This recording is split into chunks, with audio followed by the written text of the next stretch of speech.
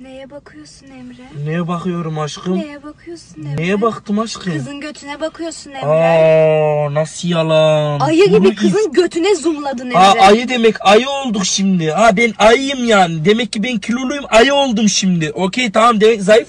Kendine zayıf sevgili bulsaydın keşke Melisa Hanım. Emre Ben- özür dilerim tamam. Hı öyle özür dilemekle olmuyor. Kırıcı oluyorsun bazen. Hani Ama ben... sen de baktın kızın götüne. Kızın götü bana baktı ya.